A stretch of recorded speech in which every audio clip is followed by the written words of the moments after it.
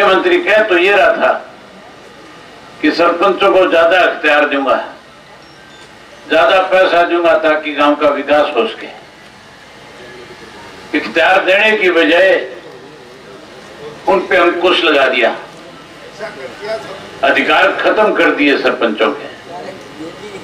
Grant का एक पैसा नहीं दिया। और जब सरपंच इकट्ठे होकर के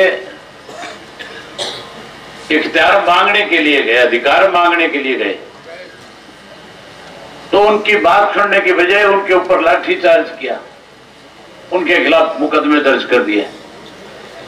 इसलिए आज सारे सरपंच प्रदेश के जो है सरकार के खिलाफ लामबंद होकर के आंदोलन कर रहे हैं, लड़ाई लड़ रहे हैं। आपके गाँव का सरपंच है कि आया हुआ? ये खड़े सरपंच साहब। क्या नाम है सरपंच साहब? राजेंद्र कुमार जी। राजेंद्र कुमार जी सरपंच एसोसिएशन के प्रधान है कोई ग्रांट नोट मिली कि नहीं कोई ग्रांट नहीं मिले सरपंचों को ग्रांट देने की बजाय सरपंचों को ये कह करके अपमानित करा कि ये तो बेईमान है इसलिए आज सारे सरपंच सरकार के खिलाफ अपना आंदोलन चला रहे लड़ाई लड़ रहे हैं